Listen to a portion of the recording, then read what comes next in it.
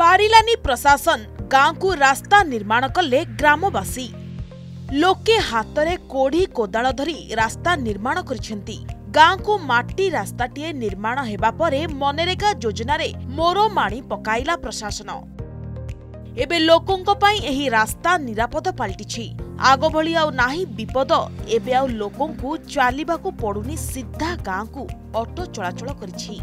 ଏବେ ଗଞ୍ଜାମ ଜିଲ୍ଲା ଜଗନ୍ନାଥ ପ୍ରସାଦ ବ୍ଲକର ହଜପଲ୍ଲୀ ଗାଁ ହସି ଉଠିଛି ବହୁତ ଖୁସି ଅଛୁ କାହିଁକିନା ଆମର ଏଠୁ ରାସ୍ତା ନଥିବାରୁ ବହୁତ କିଛି ଅସୁବିଧା ହେଉଥିଲା।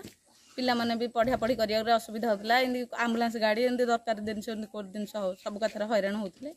କିନ୍ତୁ ଏବେ ଟିକେ ଆମର ବନ ବିଭାଗରୁ ତରଫରୁ କିଛିଟା ସାହାଯ୍ୟ ମିଳିବାରୁ ଆମେ ବହୁତ ଖୁସି ଆଉ। ଯିବା ଆସିବା ପାଇଁ ସବୁ କଥାରେ ସୁବିଧା ଗାଡ଼ି ଫାଡ଼ି ସବୁ ଆସିଲା ଗଲା। ପରିବାପତ୍ର ବି ଆମ ଗାଁକୁ କିଛି ଆସୁନଥିଲା ଏବେ ବି ଯାହା କିଛି ଆସିଲାଣି। ଆଉ ସବୁ କଥାରେ ଏବେ ବହୁତ ସୁବିଧା ହେଇଯାଇଛି ଆଗକୁ ମଧ୍ୟ ହବ ବୋଲି ଆଶା ଅଛି। ଆମ କ- ଏତିକି କହିବା ଆମର କ'ଣ ରାସ୍ତା ମେନ୍ରେ ଆମ ଗାଁକୁ ରାସ୍ତା ନଥିଲା। କି କିଛି ନଥିଲା। ଆମର ଧର ଆଜି ପେସେଣ୍ଟ ନେଲେ ଡୋଳାରେ କରିକି ନେଉଥିଲୁ।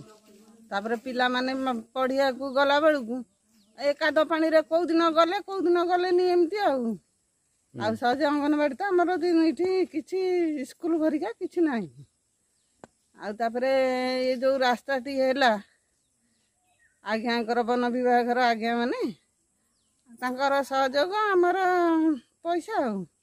ଏମିତି ଇଏ କରିକିରି ତାର ଡିଏଫ୍ ବିଡ଼ିଓ ଏମିତି ସମସ୍ତେ ମିଶିକିରି ଯାହା ହଉ ସହଯୋଗରେ ଆମର ରାସ୍ତାଟା ହେଇଗଲା ଯାହା କରିପାରିଲାନି ପ୍ରଶାସନ ତାହା କରି ଦେଖାଇଲେ ଗ୍ରାମବାସୀ। ବନ ବିଭାଗର ଆର୍ଥିକ ସାହାଯ୍ୟ ଓ ଗାଁ ଲୋକଙ୍କଠାରୁ ଚାନ୍ଦା ସଂଗ୍ରହ କରାଯାଇ ଗାଁକୁ ରାସ୍ତା ନିର୍ମାଣ ହୋଇପାରିଛି। ଦୀର୍ଘ ବର୍ଷ ପରେ ବନ ବିଭାଗ ସହାୟତାରେ ଗାଁର ମୁଖ୍ୟ ସମସ୍ୟା ରାସ୍ତା ନିର୍ମାଣ ହୋଇପାରୁଥିବାରୁ ଏବେ ଗ୍ରାମବାସୀ ଖୁବ୍ ଖୁସି ମତବ୍ୟକ୍ତ କରିଛନ୍ତି। ରାସ୍ତା ତ ନଥିଲା ଦୋଳାରେ ବୋହିକି ମେଡ଼ିକାଲକୁ ପେସେଣ୍ଟ ନେଇକି ବୋହିକି ଦୋଳାରେ ନେଇକି ପହଞ୍ଚାଉଥିଲୁ। ଆଉ ରାସ୍ତାଘାଟ ନଥିଲା। ଆଉ ବର୍ତ୍ତମାନ ଏବେ ରାସ୍ତା ଟିକେ ହେଲା ଯିବା ଆସିବା ଟିକେ ଭଲ କରୁଛୁ ଏବେ ଆଉ। ବାଇକ ଫରେଷ୍ଟ ଆଜ୍ଞା ସାହାଯ୍ୟ ବହୁତ କଲେ